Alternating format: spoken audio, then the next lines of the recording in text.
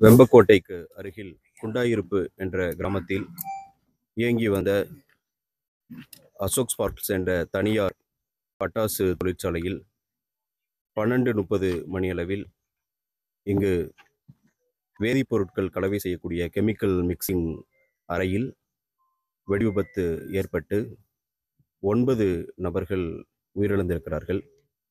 மூன்று பேர் படுகாயமடைந்திருக்கிறார்கள். அவங்கள படுகாயமடைந்தவர்களை சிவகாசி ஜிஹெச்க்கு அட்மிட் பண்ணியிருக்கோம். அங்கே அவங்களுக்கு ட்ரீட்மெண்ட் கொடுத்துட்ருக்குறாங்க. மற்ற ரெஸ்கியூ ஆப்ரேஷன்ஸ் எல்லாம் பார்வையிட்டிருக்கோம். விபத்து எதனால சார் நடந்தது?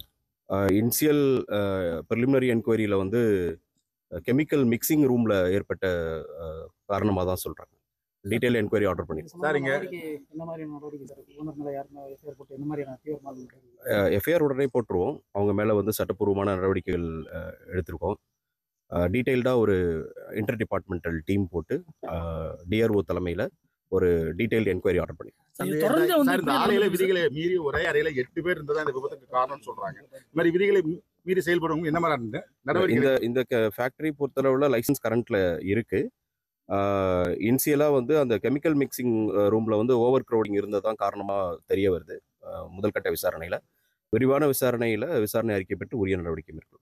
எவ்வளோ சார் ஃபார்ம் பண்ணியிருக்கீங்க இப்போதைக்கு வந்து? ஏற்கனவே நம்ம டிஸ்ட்ரிக்ஸில் வந்து நாலு டீம் இருக்குது special squad inter departmental fire police revenue and department of industrial safety இந்த துறைகளில் இருந்து ஒருங்கிணைக்கப்பட்ட குழுக்கள் வந்து தொடர்ச்சியாக கண்காணிப்பில் தீவிரமான கண்காணிப்பில் நடவடிக்கைகள் ஈடுபட்டு இருக்கோம் அப்படி இருந்தும் இந்த இது வந்து இந்த ஆக்சிடென்ட் பொறுத்தளவில் மனித தவறுகள் தான் காரணமாக இருக்கிற மாதிரி முதல்கட்ட விசாரணையில் தெரியுது. தொடர்ச்சியான நடவடிக்கைகள் எடுத்துகிட்டு இருக்கோம் சாத்தூர் அருகே பட்டாசு ஆலை வெடி விபத்து தொடர்பாக வருவாய் ஆய்வாளர் தலைமையில் குழு அமைக்கப்பட்டிருப்பதாகவும் மாவட்ட ஆட்சியர் தெரிவித்திருக்கிறார். அவர்கள் அளிக்கக்கூடிய அறிக்கையின் அடிப்படையில் அடுத்த கட்ட நடவடிக்கை இருக்கும் என்றும் அவர் தெரிவித்திருக்கிறார்.